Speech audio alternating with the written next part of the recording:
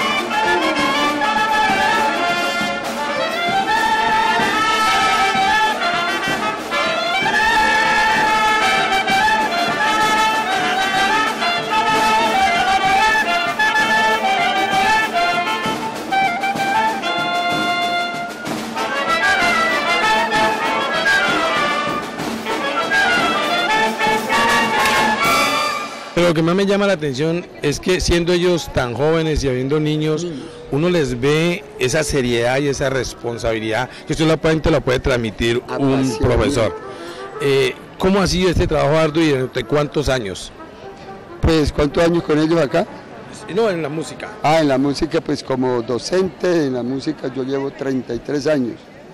Siempre y cuando yo fui músico de la banda departamental, de Cali, del conservatorio, fui músico de la banda departamental del Huila, fui músico de la banda de la Fuerza Aérea, músico donde yo estaba sentado así como están ellos sentados, frente a un director. Después ya me dediqué a la docencia, eso hace 33 años, hice una banda en el Huila, dos bandas en el Huila, luego me vine para acá, hice una banda en Candelaria, ya en Candelaria voy con la quinta generación de bandas, en Jumbo, en Cerrito, tengo un recorrido bastante satisfactorio. Específicamente en Jumbo, eh, ¿cuánto tiempo ya en, solamente en Jumbo? En Jumbo hoy estoy cumpliendo 20 años de haber inaugurado la primer banda que saqué yo en Jumbo, hoy hace 20 años. ¿Cómo hacer para que estos jóvenes se apasionen por la música, para que asistan a, a cada uno de los ensayos que ustedes hacen? ¿Cómo hacer, profesor? Sí, esa es una pregunta que no solamente, siempre me la hacen a mí porque la gente admira es que los integrantes de mis bandas se siente, se percibe que ellos tocan con el alma, que ellos sienten satisfacción de tocar y quieren estar tocando siempre.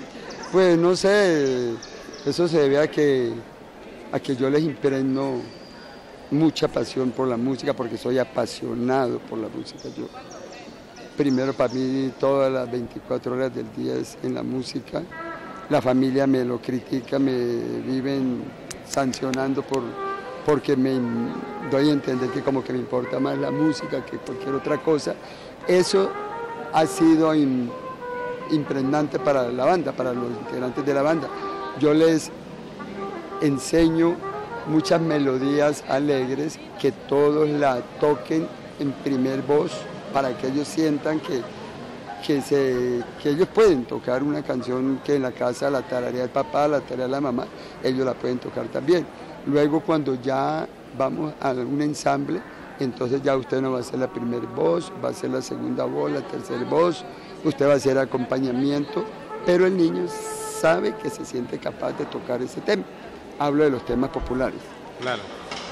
¿Cómo hace usted para escogerle o ver la habilidad para que un niño escoja un instrumento? Sí, ese es un proceso eh, que se logra en el semillero. Semillero es cuando llegan no solamente niños, sino adultos, porque la portada mía es, se, hay eh, convocatoria para todas las edades, desde los 9 a los 99 años. Correcto. Yo tengo, ah, hoy no vinieron dos adultos que tengo en la banda, pero yo tengo adultos, señores de 40 y pico años. Me, me es satisfactorio, pero la gente ve un mayor, una señora mayor de edad o un señor y creen que son ya veteranos. No, ellos están empezando como estos niños. Ellos, ellos antes se sienten achicopalados por los niños, porque los niños tocan más que ellos. uno ve una banda y no todos los adultos que hay en una banda, todos son músicos, no, están empezando también. Entonces, en, en el proceso mío que yo empiezo con flauta dulce, todos los alumnos míos pasan primero por un proceso de flauta dulce. Allí con la flauta dulce es que yo les enseño el pentagrama, les empiezo a meter toda aquella minuciosa cosa de, la música, la gramática elemental, básica. Entonces ya el niño con la flauta dulce no se va a aburrir. Claro, correcto. Porque el niño desde la primer clase mía, él se va con una canción para la casa. Impregnada. no, y ya la va tocando. ya llega a la casa, mire mamá, yo puedo tocar, y eso es muy satisfactorio para ellos. Ellos se van y me van pidiendo más canciones, más canciones, más canciones. Ahí me doy cuenta quién tiene buen oído, porque hay algunos que quieren ser músicos, quieren tocar en la banda, pero no pueden. No Les falta ritmo, algunos que son arrítmicos, otros que no tienen el oído que se requiere para la música. Entonces ahí uno va seleccionando, usted si tiene buen oído, buen oído, usted va para trompeta o va para trombón, va para instrumentos armónicos, pero si usted no tiene buen oído, toca irse para un instrumento de caña. No quiere decir que los músicos de instrumentos de caña son malos, de oído, no, allí hay buenísimos, sino que hay unos que no aceptan el cambio. Yo quiero es clarinete, yo quiero es clarinete, ya. Así es. ¿Cuál ha sido su mayor satisfacción en la música? La mayor satisfacción mía siempre es cuando encontramos un público receptivo y premia a los muchachos con aplausos, que los muchachos se sienten congratulados. Esa es una satisfacción grande para mí. Para mí es gran satisfacción también cuando muestro por primera vez a algunos niños en público, porque ellos se sienten felices, los papás, la familia me lo expresan, esa es una gran satisfacción para mí. Otra gran satisfacción para mí es cuando logramos un premio, un primer puesto en un concurso nacional, que lo hemos logrado. Hay muchas, en este, en este trasegar de la música hay muchos, pero muchos momentos de satisfacción. ¿Usted qué le diría al padre de familia para que motiven a sus hijos a la música? Se dice que si un niño aprende a tocar un instrumento, difícilmente cogerá un arma. ¿Cómo motivarlos? Pues motivarlo es que a, los niños hay que, si yo veo que a mi hijo le gusta tararear, le gusta escuchar música, le hago un seguimiento en la casa, si le gusta la música, le pregunto si se siente atraído por la música. Eh, si es posible le compro una flauta dulce, que barata, vale 15 mil pesos. Y ahí me doy cuenta, si el niño tiene inclinación por este campo, lo apoyo papi, mami, vaya a la música, yo quiero que usted esté en un grupo aprendiendo música. Eso no solamente es satisfactorio por los aplausos, también es una forma de ganarse la vida. Yo tengo muchos, pero muchos, muchos alumnos míos que viven de la música. En el exterior. Tengo músicos en el exterior, en Estados Unidos, en México, en Francia, en varias partes de, a nivel internacional tengo músicos que son de la escuela mía y están viviendo de la música y le mandan el giro a la familia. Yo tengo padres, madres de familia que me ven y me hablan, ay profesor, gracias a Dios, a usted lo que le enseñó mi hijo, él no me falla con la mensualidad. Eso es me enseñó responsabilidad. Sí, responsabilidad. También llama mucho y es muy visual cuando usted en medio de toda esta juventud está usted imponiendo esa autoridad que le da la experiencia de los años. Entonces es un cuadro muy hermoso que más allá de la música también es muy visual. Usted siente que ha realizado ese, eh, digamos, ese, para que el público mire de esa manera. Sí, tengo también ese precedente de que me han dicho que de los estudiantes que han pasado por mi escuela, no hay ningún vicioso, no tengo ningún vicioso, ningún irresponsable, todos han sido formados musicalmente dentro de una responsabilidad y de cumplimiento de serial, no permito que un joven, que porque ya toca bien, que porque ya va a orquesta, porque ese es otro caso.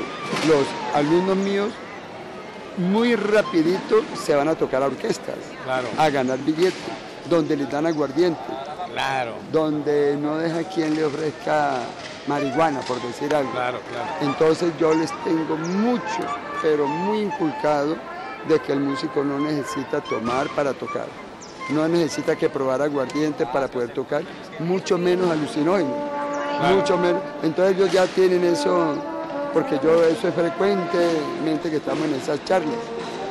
¿Ha habido casos de rebeldía o no? Pues sí, pero muy esporádico y muy leves. Y muy manejable. Sí, manejable, sí.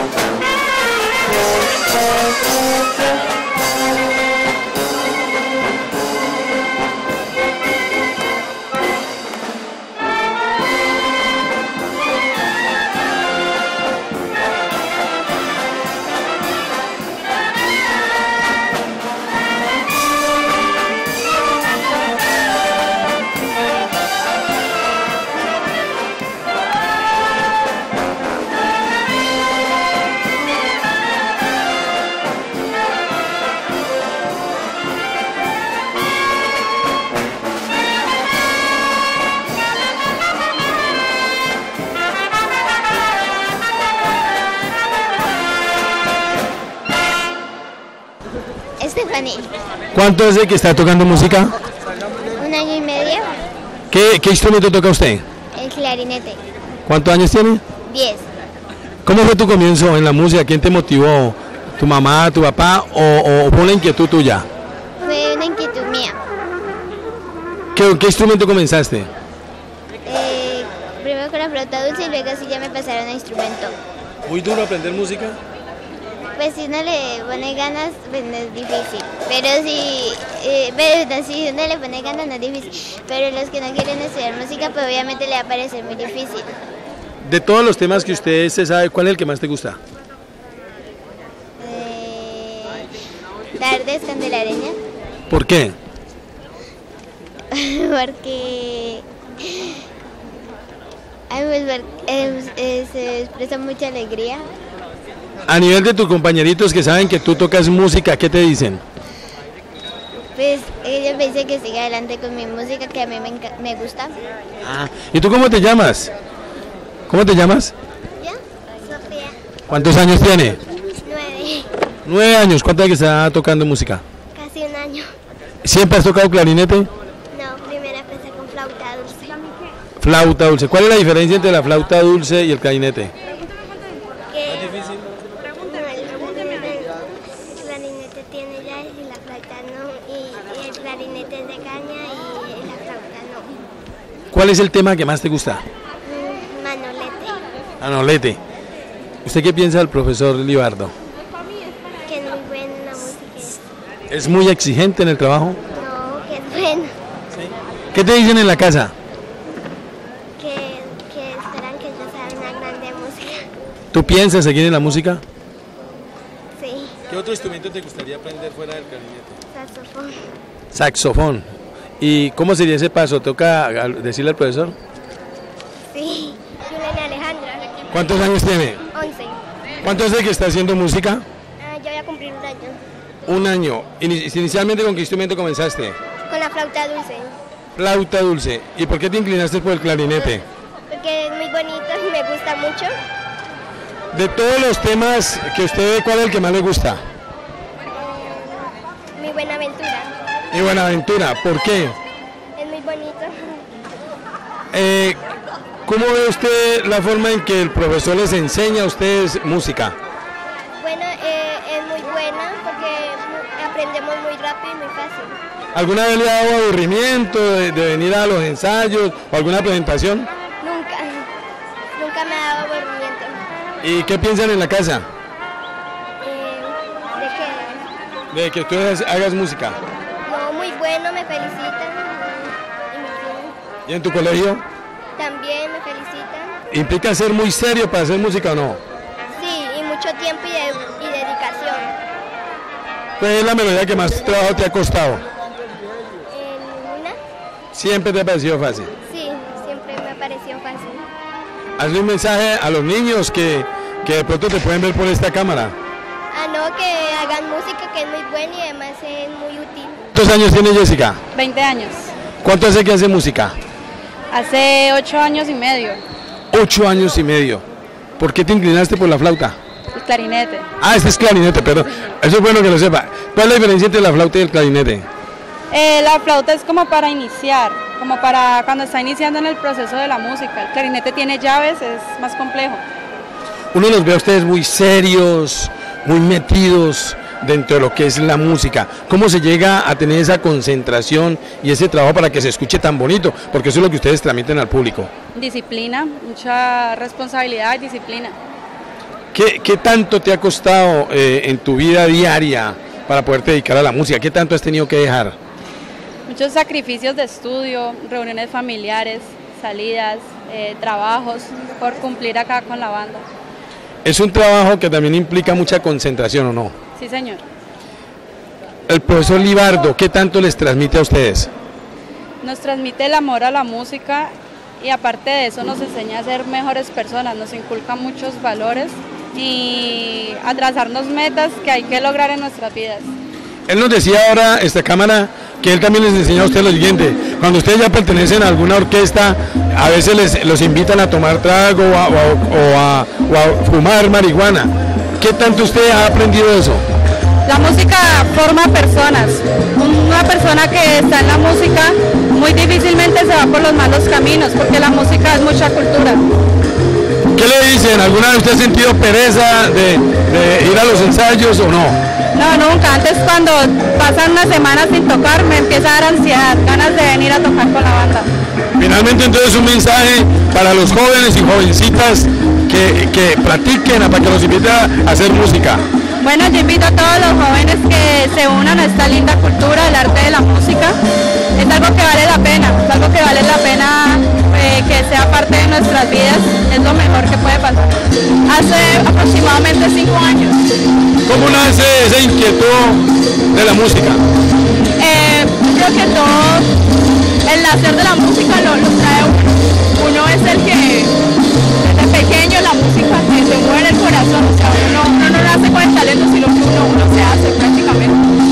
Que el profesor, que inicialmente ustedes comienzan con una flauta, luego con clarinete, ¿cómo te decides por el, por el saxo? Claro, es que es un proceso, o sea, no nos vamos a así de una, es un proceso en el cual empieza primero con la flauta, eh, el, el, maestro hace un proceso que se llama prebanda, es donde eh, uno le, le enseñan a leer los papeles, corcheas, semicorcheas, y, y, empezamos con la flauta. Ya después tú te decides que quieres tocar si saxofón, clarinete, hay tuba, barítonos, trombones. Y pues me decidí por el saxo. ¿Qué siente Natalia cuando está tocando saxofón? Es algo muy bonito porque uno, uno expresa, uno con la música uno siente tocar un paso doble, eh, que un, que un, un, un porro, es muy chévere porque nosotros también tocamos no solo música calma, sino también música alegre. Es muy chévere porque la gente también se divierte y la gracia es expresarle eso a las personas. Dentro de una de las piezas musicales tú haces un solo de saxofón. Cuando estás en ese solo de saxofón, ¿qué quieres transmitir? Pues uno, uno como siente que, que, se eriza, pero, pero sí, uno como que está expresando lo, lo que siente porque, porque es un solo, es un solo de uno. Y, y, uno se siente muy nervioso pero muy emocionado a la misma vez porque todas las personas te están escuchando y es muy chévere que las personas a la final te aplaudan y no solo a mí sino en la banda en la banda en general. Iván Andrés Anaya. ¿Qué instrumento tocas? Estoy por ahora estoy tocando bajo. ¿Cómo así que por ahora? ¿Cuál es? Ah, es que el instrumento en realidad con el que yo empecé a tocar en la banda fue trompeta, pero por mi proceso que, que mi rendimiento que he dado me fui me fueron ascendiendo instrumentos. Después empecé a tocar barítono eh, después más adelante pasé a trombón y ahora último estoy emocionado con este bajo. ¿Qué es lo más difícil de los instrumentos? Yo veo que este es como que requiere mucho esfuerzo, ¿cómo es? No, o sea, no tanto el esfuerzo, sino el, el empeño que usted le coloque. O sea, el manejo de, de este instrumento es que necesita mucho aire, ¿sí? Entonces, eh, te, dan, te dan como unos tips para poder manejar bien el diafragma y poder sacar bien los sonidos y todo, porque como la boquilla de esta es muy grande, entonces se necesita mucha más presión para, para, el diafragma para poder que los sonidos salgan gordos como debe necesitar. ¿Qué es lo que más te gusta de la música? No, pues, ¿qué me, qué man, qué me gusta la música? Todo. ¿Te llena? Claro, todo. Yo sin la música no puedo vivir. ¿Cu ¿Cuántos meses que estás eh, haciendo música? Bueno, yo llevo seis años de música, aparte de, de esta banda que apenas llevo dos años y medio, pero por aparte he sido percusionista, eh, estuve con diferentes orquestas, eh, estuve también, viajé mucho el año pasado, estuve en Medellín, Santa Marta, Armenia, Tolima, Ambalema, estuve en varios sitios viajando con bandas y... La música exige disciplina, exige trabajo. ¿Qué tanto a veces hay que dejar de la vida mundana, de la vida por hacer música? Mucho, mucho mucho porque, o sea, lo, esto de la música no, no solo forma músicos, forma seres integrales, seres que en realidad sí van a servir para la humanidad. O sea, eh, la música es, es algo que, que, que, nace, que nace de uno, ¿sí? Yo prefiero, de, pre, pre, preferimos dejar de estar haciendo cosas indebidas para venir a hacer música, que es más importante para, para nuestra vida y para la comunidad. Hay un dicho que dice que joven que aprende a tocar un instrumento Nunca difícil de un alma. ¿Está de acuerdo con ese concepto? Sí, claro. Claro, porque eh, por lo menos el músico es una, un ser integral muy, muy, como le digo, muy exacto en lo que quiere, ¿sí me entiende? Entonces el, el músico nunca empuñaría un arma, ¿para, ¿para qué un arma si el, su arma con la que sabe es su instrumento, su saxofón, su clarinete, su tuba, su trompeta, su trombón? Si yo le digo, maestro Libardo, ¿qué es lo primero que le viene a la mente? Lo primero que me viene a la mente, un gran maestro, el mejor director de todos. Eh, él no forma solo músicos, como le venía diciendo, forma ser integrales, forma personas. Eh, hay mucho, yo por lo menos soy un seguidor del maestro Libardo, amo, amo la, la vocación que el maestro hace, quiero ser como él ¿sí? Eh, tener ese manejo de dirección, eh, manejar lo que es todo tipo de instrumentos, tocarlos todos, pero todo requiere un simple un paso de tiempo, mucho tiempo. Es un mensaje para los padres de familia que tienen a sus hijos de pronto haciendo nada para que los motiven a hacer música. No, pues que, que Estamos en el Instituto Municipal de Cultura, estamos en el IMSI, eh, estamos ensayando los días lunes, los días jueves, viernes, de 6 de la tarde a 8 y media de la noche y los sábados de 8 de la mañana a 12 del mediodía. Pues yo los invito a que, a que vayan, que vayan y disfruten esto de la música y verá que, que pueden, pueden lograr lo, lo que quieren, pueden ser unos grandes músicos. O sea, de aquí el valle de la mano del maestro Libardo han salido 235 músicos que son, vean, una berraquera de músicos. Entonces, pues yo los invito, yo los invito a que vayan, disfruten, observen cómo, cómo pueden ustedes. Obviamente se empieza por un proceso que, que te va, te va subiendo de rango, te va subiendo de nivel y cuando menos pensé ya estás en tu banda tocando, te llaman a orquestas. Entonces, chévere, chévere, yo los invito para que vayan y conozcan y todo.